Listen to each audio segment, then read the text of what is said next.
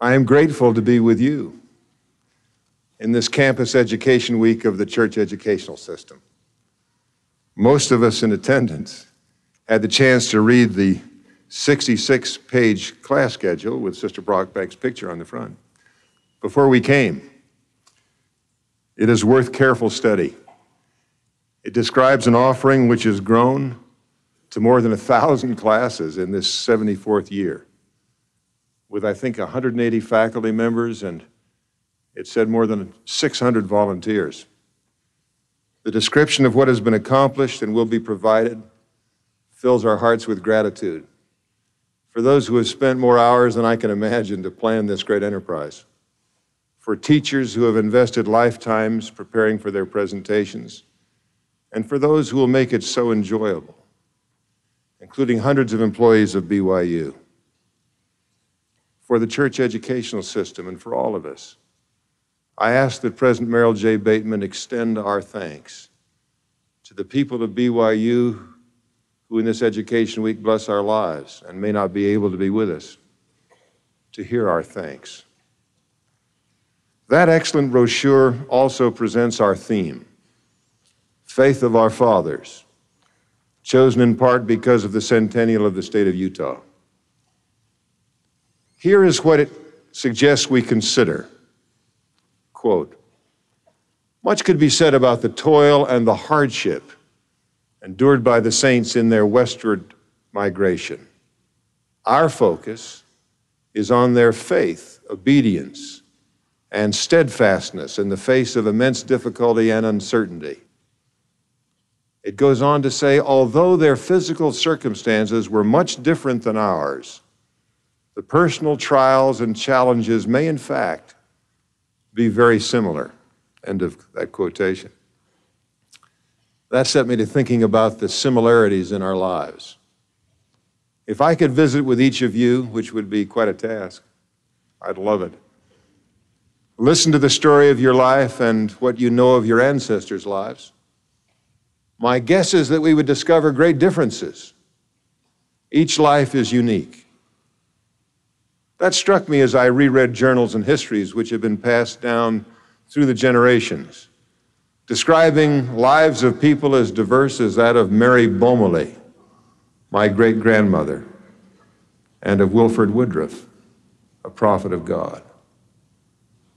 Yet I see a thread of faith, a particular faith, running in the lives of those heroes of the Restoration, whose steadfastness and courage leave us in awe.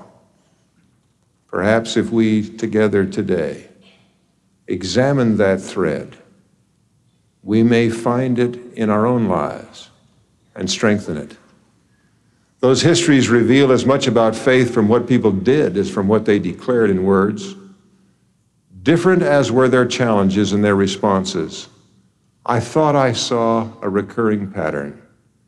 Here it is. They shared a faith that the kingdom of God had been established for the last time that it would triumph over great opposition, would become glorious in preparation for the day when the Savior would come to accept it, would stand forever, and that theirs was a rare privilege to have been called out of the world to build it. They were sure that they were establishing Zion, a place of refuge. It is not surprising then that they pled for that Zion and that they expected not only to build it, but to enjoy living in it. What is surprising, at least to me, is that their faith in that destiny increased when they pleaded for Zion to be established, only to see times of safety turn to times of testing. Listen to words of the prophet Joseph Smith in his pleadings in a letter from Kirtland to the exiled saints in Missouri, December 10th, 1833. Here's what he wrote Now hear the prayer of your unworthy brother in the new and everlasting covenant. O my God, thou hast called and chosen a few through thy weak instrument by commandment and sent them to Missouri, a place which thou didst call Zion, and commanded thy servants to consecrate it unto thyself for a place of refuge and safety for the gathering of thy saints, to be built up a holy city unto thyself. And as thou hast said, that no other place should be appointed like unto this, therefore I ask thee, in the name of Jesus Christ, to return thy people unto their houses and their inheritances, to enjoy the fruit of their labors, that all the waste places may be built up, that all the enemies of thy people who will not repent and turn unto thee may be destroyed from off the face of the land. And let a house be built and established unto thy name, and let all the losses that thy people have sustained be rewarded unto them, even more than fourfold, that the borders of Zion may be enlarged forever. And let her be established no more to be thrown down, and let all thy saints, when they are scattered as sheep and are persecuted, flee unto Zion and be established in the midst of her. Let her be organized according to thy law, and let this prayer ever be recorded before thy face. Give thy Holy Spirit unto my brethren, unto whom I write Send thine angels to guard them and deliver them from all evil. And when they turn their faces towards Zion and bow down before thee and pray, may their sins never come up before thy face, neither have place in the book of thy remembrance, and may they depart from all their iniquity. Provide food for them, as thou doest for the ravens provide clothing to cover their nakedness, and houses that they may dwell therein. Give unto them friends in abundance, and let their names be recorded in the Lamb's book of life, eternally before thy face. Amen. Now, after such a pleading, listen to some more words.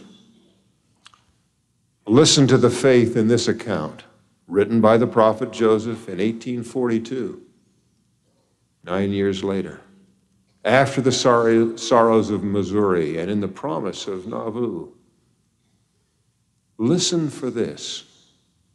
See if disappointment has dimmed faith. Quote, we next settled in Caldwell and Daviess counties, where we made large and extensive settlements, thinking to free ourselves from the power of oppression by settling in new counties where very few inhabitants, with very few inhabitants in them. But here we were not allowed to live in peace. But in 1838, we were again attacked by mobs. An exterminating order was issued by Governor Boggs, and under the sanction of law, an organized banditti ranged through the country, robbed us of our cattle, sheep, hogs, etc. Many of our people were murdered in cold blood. The chastity of our women was violated and we were forced to sign away our property at the point of the sword. And after enduring every indignity that could be heaped upon us by an inhuman, ungodly band of marauders, from 12 to 15,000 souls, men and women and children, were driven from their own firesides and from lands to which they had warranty deeds, houseless, friendless, and homeless in the depths of winter, to wander as exiles on the earth or to seek an asylum in a more genial climate among a less barbarous people. Many sickened and died in consequence of the cold and hardships they had to endure. Many wives were left widows, and children orphans and destitute. The prophet, for some reason, didn't mention his father, whose health was broken in that terrible time, never to be fully regained until he died. Then the statement goes on to say, in the situation before alluded to, we arrived in the state of Illinois in 1839, where we found a hospitable people and a friendly home, a people who are willing to be governed by the principles of law and humanity. We have commenced to build a city called Nauvoo in Hancock County. We number from six to 8,000 here, besides vast numbers in the county around. And in almost every county of the state, we have a city charter granted us, the charter for a legion, the troops of which now number 1,500. We have also a charter for a university, for an agricultural and manufacturing society, have our own laws and administrators, and possess all the privileges that other free and enlightened citizens enjoy. Persecution has not stopped the progress of truth, but has only added fuel to the flame. It has spread with increasing rapidity, proud of the cause which they have espoused and conscious of our innocence and of the truth of their system midst calumny and reproach have the elders of this church gone forth and planted the gospel in every state in the Union. It has penetrated our cities, it has spread over our villages, and has caused thousands of our intelligent, noble, and patriotic citizens to obey its divine mandates and be governed by its sacred truths. It has also spread into England, Ireland, Scotland, and Wales, where in the year 1840 a few of our missionaries were sent and over 5,000 joined the standard of truth. There are numbers now joining in every land. Our missionaries are going forth to different nations and in Germany, Palestine, New Holland, Australia, the East Indies, and other places. The standard of truth has been erected. No unhallowed hand can stop the work from progressing. Persecutions may rage, mobs may combine, calumny may defame, but the truth of God will go forth boldly, nobly, and independent till it has penetrated every continent, visited every clime, swept every country, and sounded in every ear, till the purposes of God shall be accomplished. And the great Jehovah shall say, The work is done. Now, from that, you can learn some things. We can learn some things. The prophet and the faithful saints expected trials. They knew the Lord would deliver them. They believed what Nephi taught. But behold, I, Nephi, will show unto you that the tender mercies of the Lord are over all those whom he hath chosen because of their faith, to make them mighty, even under the power of deliverance. And they knew they would need such deliverance time and time again as opposition would rise. They knew that the times of peace would be temporary, and so made of them times of gratitude and of boldness to go forward with the work. As the leaders grew in faith through the cycles of opposition and deliverance, followed by more opposition, so did the people. One was my great grandmother, Mary Bommeli a little black eyed teenage convert from Switzerland when she crossed the plains. I recently stood in the area of her childhood. I had always pictured it on the side of an Alp, but I was wrong. It is in the green rolling hills of northern Switzerland with rich farmland and productive vineyards. I wish we'd been able to find the house where the missionaries taught her and her family and where they all came to know that the gospel of Jesus Christ and the kingdom of God had been restored, and where they chose to give their lives to the kingdom. The two older boys to go on missions soon after their baptism, and the rest to gather to America to build Zion. They left a beautiful place of safety for the unknown. Mary chose to let the others go first without her. She knew she could make the money for passage with her weaving, but the others could not. So she chose to let them go on missions and to America, using all the money their family could get from selling all they owned. She went alone from city to city, Zurich to Berlin, weaving cloth for women, trusting in God. She also got herself arrested for preaching the gospel where it was illegal in Germany because she could not contain the good news within her. She was soon cast out of prison for preaching there too.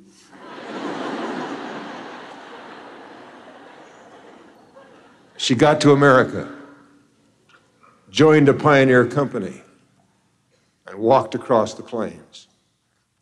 She described that crossing on foot as one of the happiest times of her life, and she wouldn't let her children and grandchildren call her a hero. On that walk, she met a returning missionary, Henry Eyring. They went in front of the wagon train. You should remember this in case you're ever there to be clear of the dust. They described later that trek not as a trial, but as a time of joy as they told each other. What a remarkable chance was theirs to have been found by the servants of God, she in Switzerland, he in St. Louis, and to be allowed to help build the kingdom of God in the last days. They fell in love. For them, that passage was not a trial, but a time of refreshing, a refuge. They chose to see in it a respite. He from his five year mission, and she from working her way alone from Switzerland. It was their youthful faith that made it a romantic stroll. But for Mary and for Henry, trials began in the promised land. After their marriage, only Mary's weaving kept them from starvation. Henry was university trained in Germany, but ignorant of the skills needed to pioneer in the wilderness. They built a small home. Neither of them knew how to make adobe bricks. When the rains came, the roof leaked, and then a wall collapsed. It fell on Mary, who was pregnant with their first child. Only the remarkable fact that her loom protected her from the falling bricks, saved her from greater harm. But the child she was carrying was injured. He was born with physical handicaps from which he was delivered only by death. With ceaseless labor and prayers, they began to rise from poverty in Davis County and then in Salt Lake City. But that time of peace was cut short. Brigham Young, the prophet, suggested that they move to St. George they went to the unknown again, built homes, planted gardens, and served in the kingdom.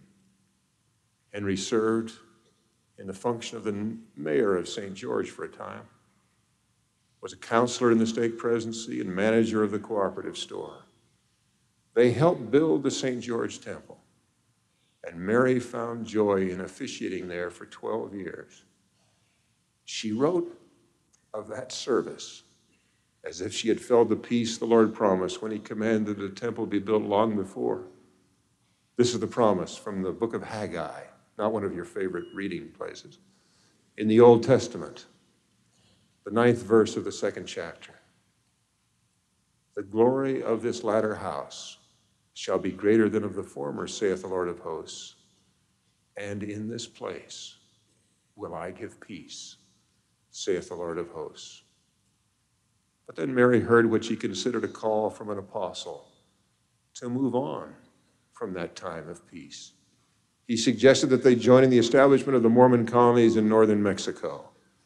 They went, believing that the Lord would sustain them in his service. As, near as, as nearly as I can sense from what they wrote about that move, they trusted that this promise applied to them. You remember from the Doctrine and Covenants, the 84th section. There I will be also for I will go before your face. I will be on your right hand and on your left, and my spirit shall be in your hearts, and mine angels round about you to bear you up. They saw more safety going forward to unknown service in the kingdom than to stay with the known and the comfortable. They left what had become for them a Zion to help the Lord build another not out of blind obedience, since they were invited and not called, but in faith that the wisest course for them was to go where they might best build the kingdom.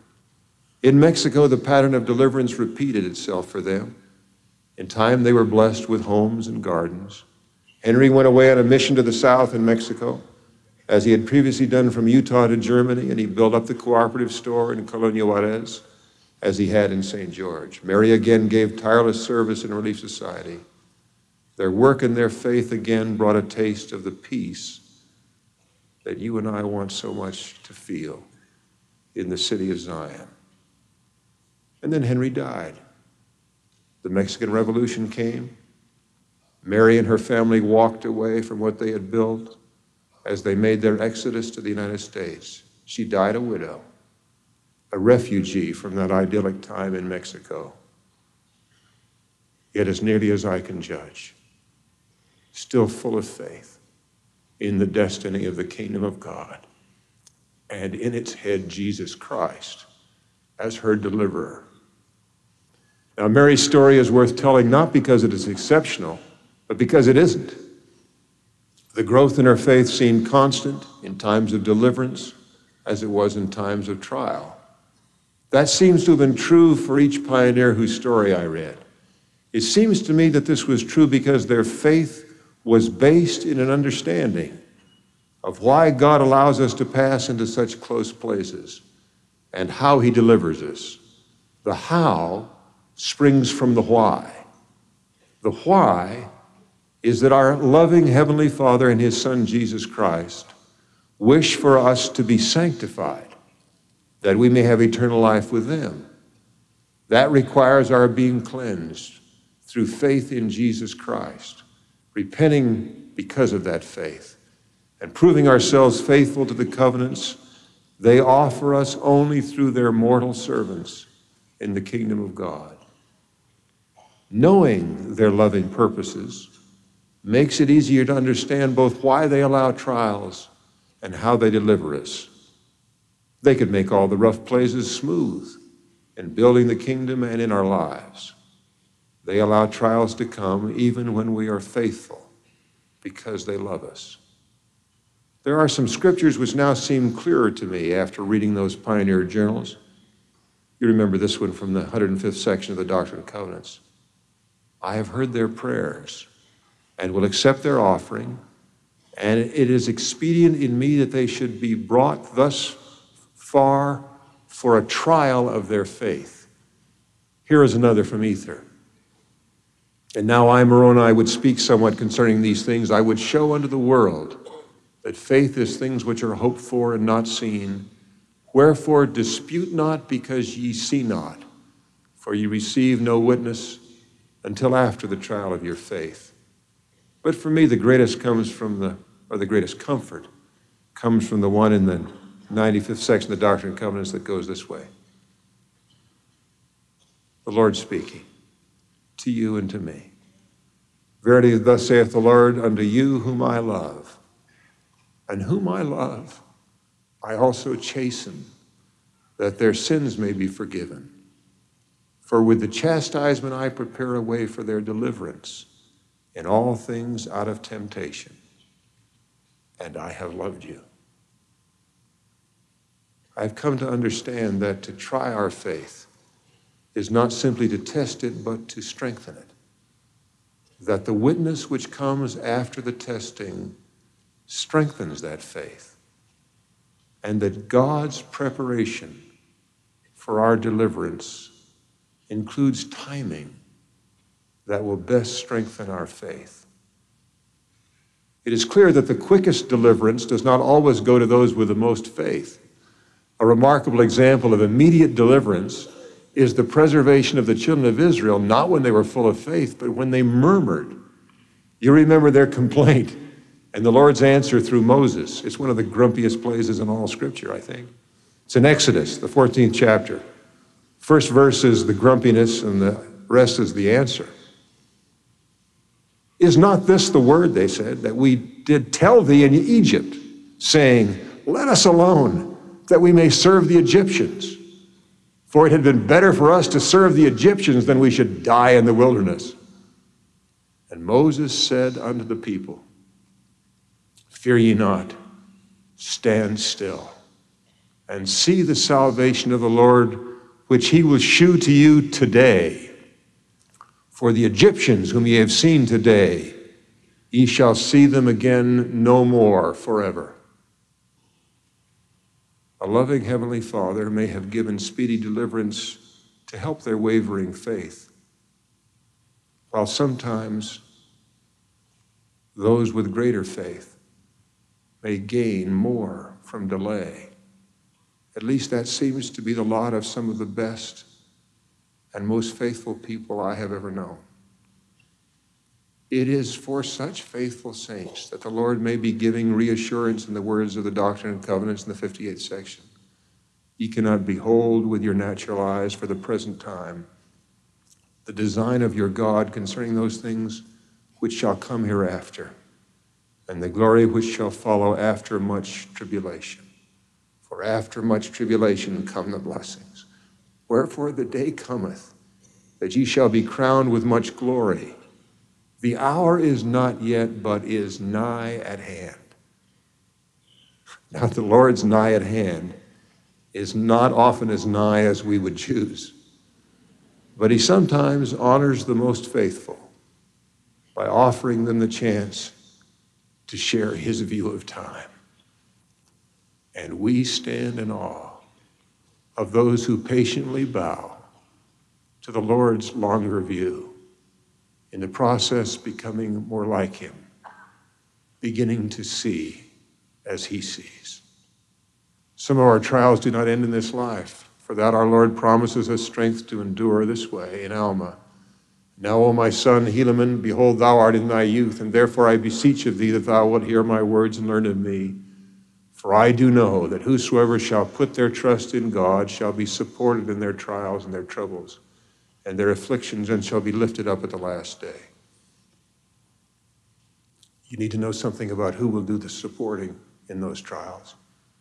The Savior himself chose troubles and afflictions so that he could make us that promise of perfect understanding. All of us who trust him for strength to endure to the end of life, whatever it may contain, treasure these words from Alma.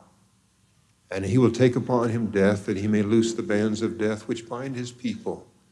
And he will take upon him their infirmities, that his bowels may be filled with mercy, according to the flesh, that he may know according to the flesh how to succor his people according to their infirmities. Now the Spirit knoweth all things. Let me just interject a commentary. I think what this is saying is he could have known by revelation. He didn't actually have to go through it. But this is again what it says. Now the Spirit knoweth all things. Nevertheless, the Son of God suffereth according to the flesh that he may take upon him the sins of his people, that he might blot out their transgressions according to the power of his deliverance. And now behold, this is the testimony which is in me. Those words, that he may blot out their transgressions, remind us of the sweetest and the surest deliverance of all. Of all the tests we face, none hurts more than the death of loved ones or the misery of our own sins. Through the resurrection of Jesus Christ, all are delivered from death and all will rise in the resurrection, regardless of their transgressions. And by the atonement of Jesus Christ, all may gain peace in this life, wash clean from the sorrows of sin, and have hope of a glorious resurrection with the just. I listened to a man recently describe what it meant to his family to be built on the foundation of Jesus Christ. For them, it was to know that their son would rise in the resurrection, there to finish the training of the infant son from whom he was parted by his death. Through their faith in the Savior, his family was delivered from sorrow and lifted to a place of peace. Gratitude for such deliverance appears often in the histories of our pioneers, partly because death struck so often and so early. We find less mention of the deliverance from sin since that is so private a matter, but it was there as surely as it is in our lives. Each of us has in some degree felt the deliverance described in the history of Alma the Younger. You remember his words, which gladden us every time we hear them and bring back floods of gratitude for our own deliverance. And now behold, when I thought this, I could remember my pains no more. Yea, I was harrowed up by the memory of my sins no more. And oh, what joy and what marvelous light I did behold. Yea, my soul was filled with joy, as exceeding was my pain. Yea, I say unto you, my son, that there could be nothing so exquisite and so bitter as were my pains. Yea, and again, I say unto you, my son, that on the other hand, there can be nothing so exquisite and sweet as was my joy. Yea, methought I saw, even as our father Lehi saw, God sitting upon his throne, surrounded with numberless concourses of angels, in the attitude of singing and praising their God, yea, and my soul did long to be there. The peace of forgiveness and of hope in the resurrection can come wherever we are. The peace that passeth understanding does not depend on a geographic place. The place of refuge is always finally in our hearts. The Lord had that had at least two meanings when he said, Therefore, verily, thus saith the Lord, let Zion rejoice, for this is Zion the pure in heart. Zion is where the pure in heart are gathered. That gathering creates a Zion. But in one person, in you and me, whose heart is cleansed by the atonement and filled with the hope of eternal life, there is a place of peace and refuge too. So we can choose to make our days here in this education week a time of refreshing in this place of refuge. The people I thanked as I began today, the planners, the teachers, the workers, all of them have labored to make this such a time and place for us. I thank them not only because they deserved it, but because we needed to offer the thanks. You and I, our gratitude for them can turn our thoughts to gratitude to the Savior for whom they did this more than they did it for us. And when our thoughts turn to Him in gratitude and in faith, the Holy Spirit can bring peace to our hearts, which I pray you are feeling now. With that feeling of peace comes a desire to serve. That's why those who have felt the blessings of baptism and confirmation feel impelled to share the gospel with others. That's why Mary Bommeli went to jail. Now we can't get, now you and I, can't get to all the activities and classes described in those 66 pages. But in whatever class we find ourselves, we can do what one of those hero pioneers might have done. We can remember the Savior and that we are blessed to be in his kingdom. And we can have in our hearts this question How would the Master have me use something from this hour to serve him? If we ask that in faith, with determination to follow the promptings which come from the Holy Spirit I promise you that those promptings will come. We will hear things we would have not heard and feel things we would not have felt. We will go out from this place with plans to help build the kingdom. We will go out refreshed in our hearts and sure that what our pioneers believed was true the kingdom of God has been restored. And we are blessed as the few among our Father's myriad children to build it for the Master for the last time.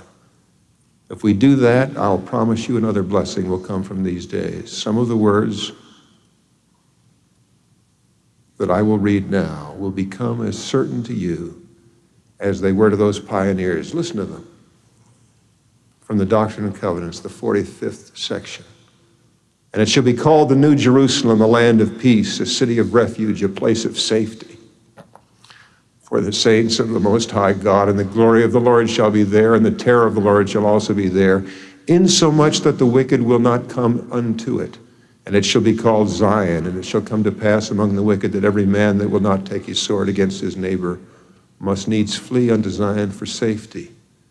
And there shall be gathered unto it out of every nation under heaven, and it shall be the only people that shall not be at war one with another. And it shall be said among the wicked, Let us not go up to battle against Zion, for the inhabitants of Zion are terrible. Wherefore we cannot stand.